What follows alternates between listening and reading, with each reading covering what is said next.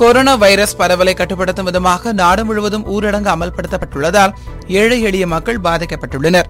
இந்நிலையில் சென்னை சூளைமேடு அண்ணா நெடுப்பாதையில் உள்ள தலித் மக்கள் முன்னணி கட்சியின் அலுவலகத்தில் அக்கட்சியின் தலைவர் நெல்லைமணி ஆயிரத்திற்கும் மேற்பட்ட பொதுமக்களுக்கு பிரியாணி வழங்கினார். தலித்து மக்கள் முன்னணி சார்பில் ஏழாம் தேதி அன்னைக்கு முன்னூறு குடும்பத்துக்கு அஞ்சு கிலோ அரிசி மற்றும் மல்லிகை சாமான்கள் கொடுத்திருக்கிறோம். அதே மாதிரி எட்டாம் தேதி அன்னைக்கும் அதே போல் கொடுத்திருக்கிறோம். ஒன்பதாம் தேதி அன்னைக்கும் அதே போல் கொடுத்திருக்கிறோம். பத்தாம் தேதி இன்று ஆயிரம் பேருக்கு பிரியாணி அன்னதானம் பண்ணிக்கிறோம்.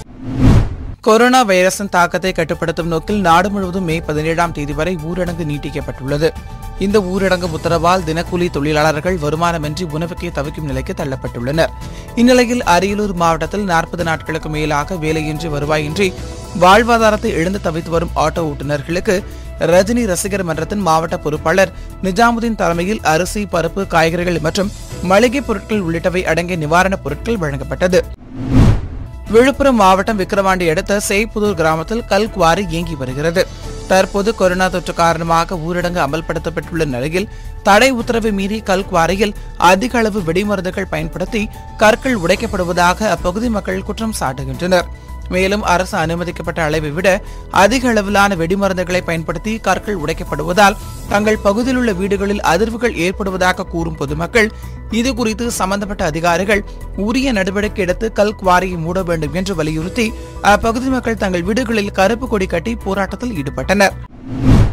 சேலம் மாவட்டம் மணியனூர் பகுதியில் உள்ள காளியம்மன் கோவிலில் சித்திரை மாத திருவிழா வெகு விமர்சையாக நடைபெறுவது வழக்கம். தற்போது கொரோனா தொற்று காரணமாக கோவில் திருவிழாக்கள் ரத்து செய்யப்பட்டது. இந்நிலையில் கோவில் திருவிழாவுக்கு செலவாகும். சுமார் மூன்று லட்சம் ரூபாய் பணத்தினை கொண்டு கோவில் நிர்வாகிகள் அப்பகுதியில் உள்ள சுமார் ஐநூற்றுக்கும் மேற்பட்ட ஏழை எளிய மக்களுக்கு அரிசி காய்கறிகள் மளிகைப் பொருட்கள் உள்ளிட்ட நிவாரண தொகுப்பை வழங்கினர். கொரோனா தொற்று பரவலை கட்டுப்படுத்தும் நோக்கில் நாடு முழுவதும் ஊரடங்கு அமல்படுத்தப்பட்டுள்ளது. இந்த ஊரடங்கு உத்தரவால் தினக்கூலி தொழிலாளர்கள் தங்களது வாழ்வாதாரத்தை இழந்து தவித்து வருகின்றனர்.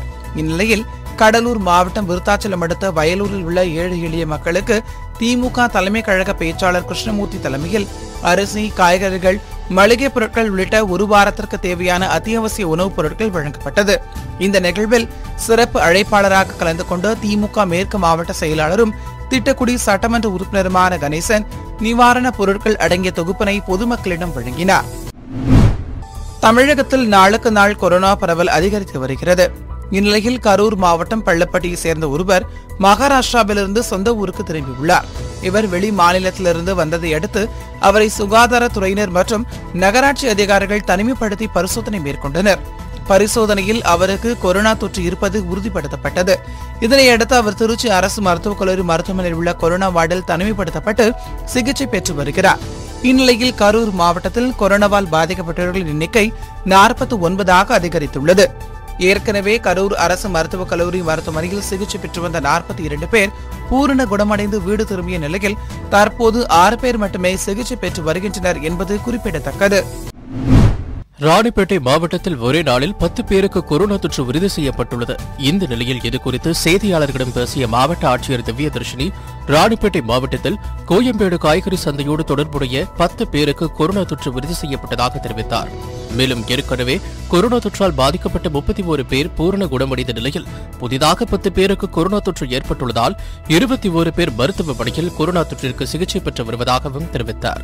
Most of the Koyambedu returnees நம்ம வந்து குவாரண்டைன் ஃபெசிலிட்டியில் வச்சிருக்கோம். ஃபெசிலிட்டி குவாரண்டைனில் அங்கேருந்து நம்ம we move them to hospital now so they're all stable மோஸ்ட்டாக எல்லாருமே ஏசிம்டமேட்டிக்காக தான் இருக்காங்க. ஸோ அதனால் though they could be home quarantine for precautionary purposes அவங்க ஸ்ப்ரெட் பண்ணுற பாசிபிலிட்டி இருக்குது நம்ம வந்து அவங்களால தனி வீடு வீடில் வந்து தனியாக ஒரு ரூம் வித் அட்டாச் பாத்ரூம் அந்த ஃபெசிலிட்டி எல்லாம் இருக்காது அப்படின்றதுனால அவங்க ஃபேமிலி மெம்பர்ஸ்க்கான ரிஸ்க்கை குறைக்கிறதுக்காக நம்ம அவங்க இப்போ ஹாஸ்பிட்டல் தமிழகத்தின் பல்வேறு பகுதிகளில் இருந்து கேரளா செல்ல முயன்ற சுமார் முன்னூற்றுக்கும் மேற்பட்டோரை கேரள எல்லையான வாழையார் பகுதியில் கேரள மாநில காவல்துறையினர் தடுத்து நிறுத்தி விசாரணை மேற்கொண்டனர். இதில் பலர் கோவை வரை செல்ல மட்டுமே தமிழக அரசின் இ பாஸ் பெற்றிருந்தது தெரியவந்தது. கேரள அரசின் அனுமதி பெறாதவர்கள் இன்டர்ஸ்டேட் பாஸ் இருந்தும் குறித்த தேதிக்கு முன்னர் வந்தவர்கள் என முன்னூற்றுக்கும் மேற்பட்டோரை கேரளாவிற்கு அனுமதிக்க மறுத்து எல்லையில் தடுத்து நிறுத்தியுள்ளனர். தடுத்து நிறுத்தப்பட்டவர்கள் கேரள மாநில காவல்துறையினரிடம் கடும் வாக்குவாதத்தில் ஈடுபட்டு வருகின்றனர். இதனால் தமிழக கேரள எல்லையான வாளையர் பகுதியில் பதற்றம் நிலவி வருகிறது. கொரோனா வைரஸில் இருந்து பொதுமக்களை பாதுகாக்க மத்திய மாநில அரசுகள் ஊரடங்கு உத்தரவு பிறப்பித்துள்ளது. இதன் காரணமாக வெளி மாநிலங்கள் மற்றும் வெளி மாவட்டங்களில் தூத்துக்குடியை சேர்ந்தவர்கள் சிரமப்பட்டனர். அவர்கள் தற்போது சொந்த மாவட்டத்திற்கு அரசு அனுமதி பெற்று வந்து கொண்டிருக்கின்றனர். அவர்களை பதினான்கு நாட்கள் தனிமைப்படுத்தப்பட்டு கண்காணிக்கப் போவதற்கு தூத்துக்குடி அரசு பாலிடெக்னிக் சிறப்பு வார்டு ஏற்பாடு செய்யப்பட்டுள்ளது. இந்த நிலையில் மகாராஷ்டிர மாநிலத்தில் இருந்து தூத்துக்குடிக்கு வந்த மூன்று பேர்களை அரசு பாலிடெக்னிக் தனிமைப்படுத்தப்பட்டு கண்காணிக்கப்பட்டு வருகின்றனர். இதேபோல் சென்னையில் இருந்து தூத்துக்குடி வந்த மூன்று பேரும் பாலிடெக்னிக்கில் சிறப்பு வார்டில் வைத்து கண்காணிக்கப்பட்டு வருகின்றனர். நீலகிரி மாவட்டம் முதுகை எடுத்த காந்தல் பகுதியில் கொரோனா தொற்று ஏற்பட்டு சிகிச்சை பெற்ற இருவர் குணமடைந்த நிலையில் தனிமைப்படுத்தப்பட்ட அப்பகுதி விடுவிக்கப்பட்டது. இதனையடுத்து பல தன்னார்வ தொண்டு நிறுவனங்கள் இப்பகுதியில் உள்ள பொதுமக்களுக்கு அனைத்து அத்தியாவசிய தேவைகளை செய்து வந்த நிலையில் கோவை பேரூராதினம் மற்றும் நல்லற மரக்கட்டளை சார்பில் சுமார் ஐநூறு குடும்பங்களுக்கு முப்பது வகையான மளிகைப் பொருட்களை கோவை பேரூர் ஆதீனம் தவத்திரு சாந்தலிங்கம் மருதாச்சல் அடிகளார் வழங்கினார். கடலூர் மாவட்டம் சிதம்பரம் அருகே உள்ள கோழிப்பள்ளம் கிராமத்தில் மத்திய அரசிற்கு எதிராக இடையவழி ஆர்ப்பாட்டம் நடைபெற்றது. இதில் இந்திய அரசை கண்டித்தும் மாநில உரிமையை பறிக்காதே கொரோனா நோய் சந்தடி சாக்கில் மாநில உரிமையை நசுக்காதே போன்ற முழக்கங்கள் எழுப்பப்பட்டது. இந்த நிகழ்ச்சியில் தமிழக ஒடுக்கப்பட்டோர் விடுதலை இயக்கத்தின் தலைமை நிலைய செயலாளர் விடுதலை செல்வன் திராவிடர் விடுதலைக் கழகம் சார்பாக மதன்குமார் ஏகாதிபத்திய எதிர்ப்பு இயக்கம் சார்பில் கணபதி உள்ளிட்ட ஐம்பதற்கும் மேற்பட்டவர்கள் கலந்து கொண்டு கோஷங்களை எழுப்பினர். தருமபுரி மாவட்டம் பெண்ணகரம் வனசரகத்திற்குட்பட்ட மசக்கல் காப்புக்காடு தாளப்பள்ளம் புதுக்காடு வனப்பகுதியில் நாய்களால் கடித்து இறந்த புள்ளி மான்கள் கறியை எடுத்து வருவதாக பெண்ணகரம் வனசகர அலுவலகர் முருகனுக்கு தகவல் கிடைத்தது. அதன் அடிப்படையில் ரோந்து சென்றபோது புதுக்காடு கிராமத்தைச் சேர்ந்த பாபு சேட்டு ஆகிய இருவரையும் கைது செய்து அவர்களிடம் இருந்த பத்து கிலோ மான்கறியை அதிகாரிகள் பறிமுதல் செய்தனர். மேலும் அவர்களுக்கு ஐம்பதாயிரம் ரூபாய் அபராதம் விதிக்கப்பட்டது. கடலூர் மாவட்டம் புவனகிரி தாலுகாவிற்குட்பட்ட இரும்பூர் ஊராட்சியில் ஊராட்சி மன்ற தலைவர் ரேணுகா தாஸ் துணைத் தலைவி தமிழ்ச்செல்வி பன்னீர்செல்வம் தலைமையில் இரும்பூர் ஊராட்சியில் உள்ள அனைத்து மக்களுக்கும் கபசுர குடிநீர் வழங்கப்பட்டது. மேலும் வீடு வீடாக நீரில் சென்று மக்கள் அனைவரும் வீட்டிலேயே இருக்கவும் வெளியே சென்றால் முகக்கவசம் கட்டாயம் அணிய வேண்டும் என்றும் சமூக இடைவெளியை முறையாக பின்பற்ற வேண்டும் எனவும் அறிவுறுத்தப்பட்டது.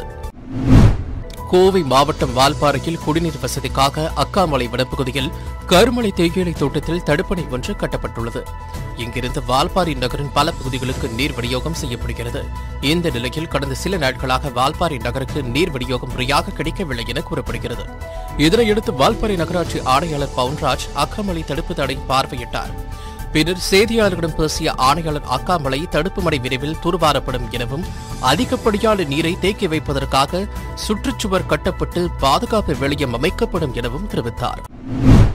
தூத்துக்குடி மாவட்டம் விளாத்திக்குளத்தை அடுத்து நாகலாபுரம் அருகே உள்ள ரெகுராமபுரம் கிராமத்தில் கள்ளச்சாராயம் காய்ச்சி லிட்டர் ஆயிரத்தி ஐநூறு ரூபாய் வரையில் விற்கப்படுவதாக காவல்துறையினருக்கு ரகசிய தகவல் கிடைத்தது. இதனையடுத்து மாசர்பட்டி காவல்துறையினர் ரெகுராமபுரம் கிராமத்தில் திடீர் சோதனை நடத்தினர். அதில் அந்த பகுதியைச் சேர்ந்த தொழிலதிபர் கண்ணன் என்பவரது வீட்டில் சாராயம் காய்ச்சுவது கண்டுபிடிக்கப்பட்டது. இதனையடுத்து சாராயம் காய்ச்சும் பணியில் ஈடுபட்டிருந்த மதுரை சட்டக்கல்லூரி மாணவர் விவேக் வவ்வால் தொத்தி பஞ்சாயத்து துணைத் தலைவர் வெள்ளிச்சாமி பொறியியல் கல்லூரி மாணவன் ராஜகணி ஆகிய மூன்று பேரை காவல்துறையினர் கைது செய்தனர். மேலும் சாராயம் காய்ச்சுவதற்கு பயன்படுத்திய கேஸ் அடுப்பு மற்றும் பானைகளை பறிமுதல் செய்தனர். வேலூர் மாவட்டம் காட்பாடு அருகே விருதம்பட்டு சொர்க்கத்தோப்பு பகுதியில் பாலாற்றங்கரையில் வாலிபர் ஒருவர் அடித்து கொலை செய்யப்பட்டிருப்பதாக இந்த பகுதியில் சென்ற பொதுமக்கள் விருதம்பட்டு காவல்துறையினருக்கு தகவல் தெரிவித்துள்ளனர். அதன் பெயரில் சம்பவ இடத்திற்கு சென்ற காவல்துறையினர் விசாரணை மேற்கொண்டனர். முதற்கட்ட விசாரணையில் அதே பகுதியைச் சேர்ந்த சுனில் என தெரியவந்துள்ளது. இவர் மீது பல்வேறு வழக்குகள் இருப்பதால் முன் விரோதம் காரணமாக அடித்து கொலை செய்யப்பட்டாரா என விருதம்பட்டு காவல்துறையினர் விசாரணை மேற்கொண்டு வருகின்றனர். ஊரடங்கு காலத்தில் வாலிபர் ஒருவர் அடித்து கொலை செய்யப்பட்ட சம்பவம் அப்பகுதியில் உள்ள மக்கள் இடையே பெரும் அச்சத்தையும் அதிர்ச்சியையும் ஏற்படுத்தியுள்ளது.